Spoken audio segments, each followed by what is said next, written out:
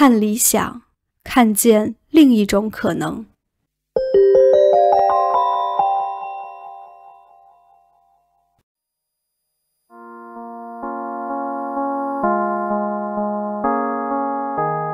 超級月，超級月波动所有的意志，不波动父亲。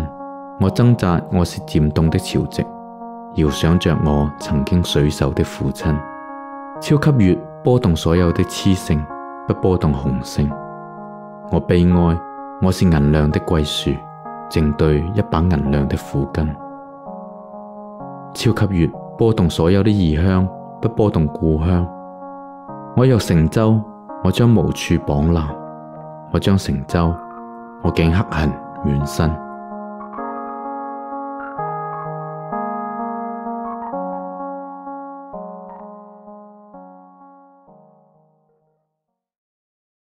你好，我是廖伟棠，我是一个专职的作家，一些影评和书评为生，同时我还是一个摄影师，有时还在电视台上讲讲文学。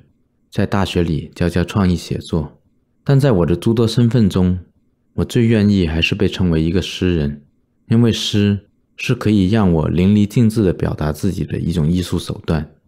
我用诗的方式打个比方吧，如果把“诗”这个汉字拆开，左边是言，右边是寺，我就是一个用语言去建造寺庙的一个建筑工人。但问题来了，这个寺庙供奉的是何方神灵呢？这就是我想通过这个节目去探讨的诗意。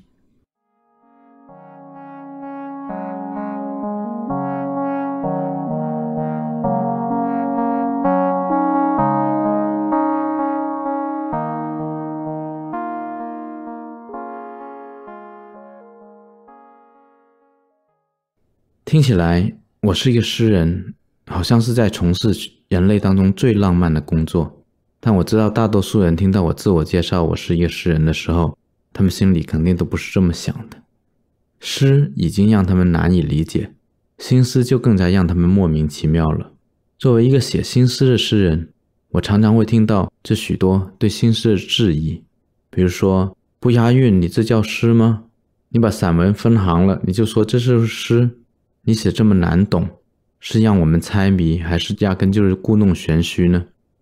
我怀疑我们当代诗人所遭遇的质疑，比一百多年前胡适他们开创新诗的时候所遭遇的还要多。新诗在中国诞生已经超过一百年了。我们都知道胡适啊、徐志摩啊、戴望舒啊，这是早期著名的新诗诗人。都知道“人间四月天”“再别康桥”“面朝大海，春暖花开”等等这些名篇。但为什么对新诗还是感到又好奇又陌生？大学的中文教育里面教育过什么是新诗，但你听了还是如堕五里雾中。新诗到底意味着什么呢？为什么会有那么多对新诗的误会呢？其实诗意它并不是一个固定的概念，不是大学教科书可以教的。新诗的诗意在哪里呢？大家众说纷纭。有民间的立场，有学院的立场，各种各样的流派对诗意的定义。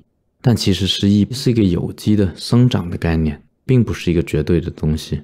它的语义、它的范围一直都在变，而且每一个诗人都尝试去重新定义诗意。尤其是过去的一个世纪，经过新诗的努力，诗意的可能性已经拓展了非常多，而且它以文学中的先锋这么一个地位。去挑战着文学的界限。如果你对诗意的认识还停留在什么“枯藤老树昏鸦，断肠人在天涯”那一种，那其实是你的遗憾。比如说，月亮是很有诗意的东西吧？关于月亮的诗意，我们一直认为在中文诗的领域里边，基本上是李白的领地，他占了一大块。我们一说月亮，马上就会想到李白。另外呢，就是苏轼。他们这些古代的比较浪漫的诗人又占了一部分，那剩下给我们的新诗的诗人的地盘非常少了。但是不怕，我们有 NASA，有登月计划，有天文望远镜，我们能够看到李白看不到的那个月亮，它的环形山，它的宁静海，而它的背面它的像玻璃一样的沙子，它的非常低的重力等等，其实都带有一种诗意。这种新的诗意是李白没有机会去接触到的，就靠这是新的诗意的这种开拓，我们就能够跟李白他们抢一些诗的地盘。那这里我跟大家分享一首我写月亮的诗。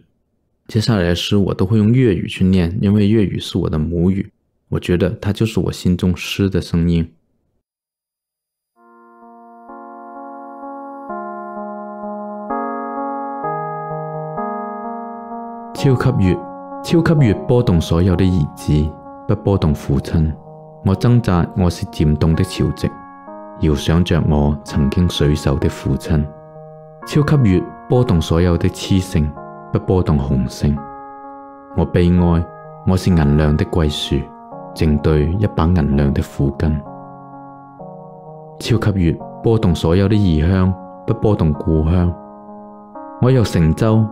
我将无处绑缆，我将成舟，我竟黑痕远身。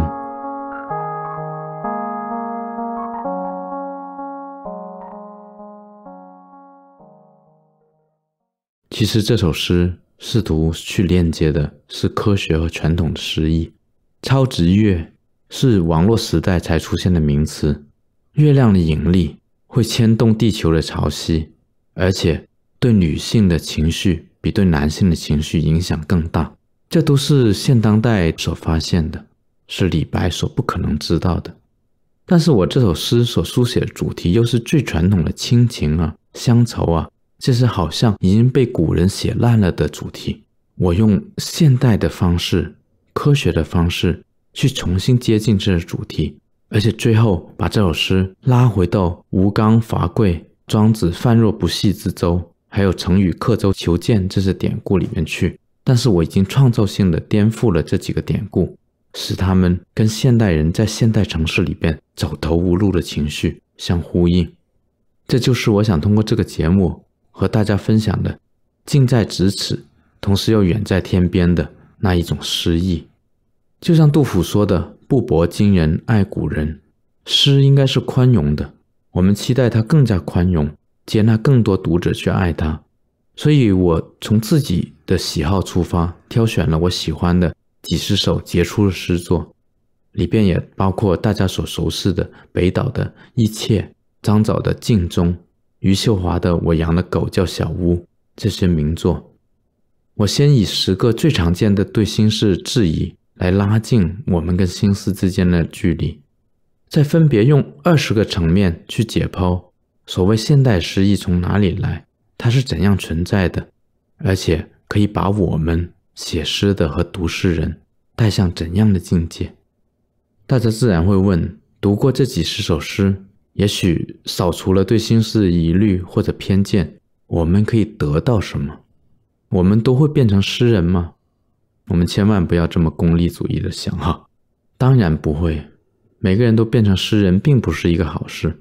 你想想，写了四万三千首诗的那个乾隆皇帝，想想在文革后期有一个村庄叫小径庄，每天都写诗晒诗，诗的泛滥不但浪费纸不环保，而且。还会变得令人毛骨悚然。我们不要变成写诗的人，我们要成为心中有诗，然后可以发现城市里边的诗意的人。这样的人比一个每天发表诗、得到官方的认证啊等等这种所谓的诗人，其实更有诗意。我的好朋友，一位优秀的汉语诗人黄灿然，他就用他自己的诗来表现了我刚才所说的这种。发现城市的诗意的状态是怎样来的？这首诗叫《全是世界，全是物质》。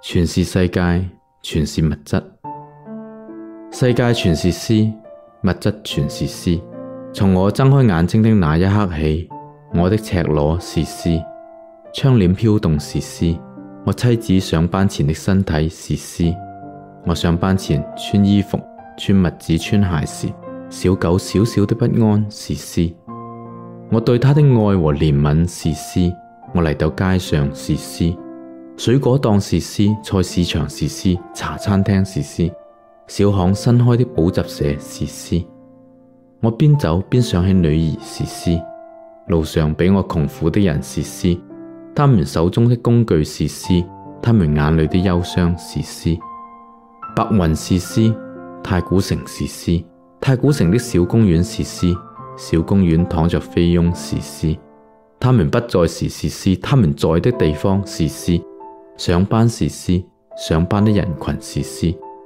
巴士站排隊的乘客是诗，我加入他們的行列是诗。被男人和女人顧盼的年輕母親和他們手裏牽着的小男孩、小女孩是诗。巴士是诗，巴士以弧形驶上高速公路是诗，高速公路是詩。從車窗望出去的九龍半島是詩，鯉魚門是诗，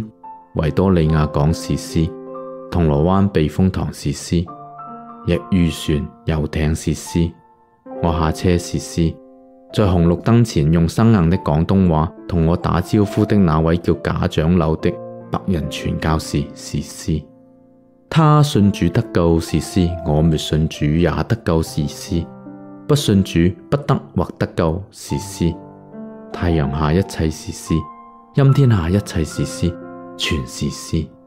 而我的诗一页页一行行，全是世界，全是物质。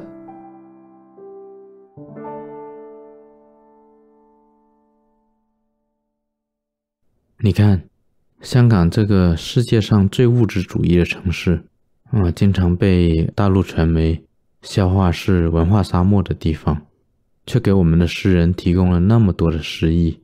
归根到底，這在于诗人的眼睛的发现，诗人的行走带给他的体验，这些都在他用笔去写诗之前就揭示了这个世界原本所具有的神奇。而反过来说，这些被发现的神奇，是我们日常生活的点睛术，让我们的生活变得非常丰盛。在这个世界上的人，终日营营役役，并不知道自己就是诗。我们的诗人黄灿然，他一开始好像是一个自恋的造物主，他到处去指点，你们这是诗，那也是诗，指出每一个上班的人，每一个平凡平庸的人身上好像都带着诗的元素、诗的因子。然后这首诗神奇在于，慢慢慢慢的，诗人呢，承认了自己是一个手工业者一样的身份，他不但把这些平凡的人提升到诗人的地位，同时又把自己从一个神秘的诗人地位还原到跟所有身边这些努力去制造这个世界的物质的人一样的地位上去。他其实是用诗去回馈这个世界的馈赠，不多也不少。这首诗和这个城市是平起平坐的。是平等平衡的，这也是我们这个节目的态度。诗意不是狂飙突进，不是浪漫的一塌糊涂的，也不是很犬儒、很保守，就用五百常用字去写自己身边的一地鸡毛一样的生活的。诗人与诗不卑不亢，就像刚才的黄灿然一样，他陪伴着你一起前行在这个充满矛盾的世界里面，一起用那些最精确。最优美或者说最独特的字眼去保存、去珍藏，在这个变幻莫测的世界里面那些不变的东西，那是什么东西呢？可能是我们基因里面就存在着的对所谓诗意的呼应，也许就是我们心灵中最脆弱的或者说最敏感的一块地方。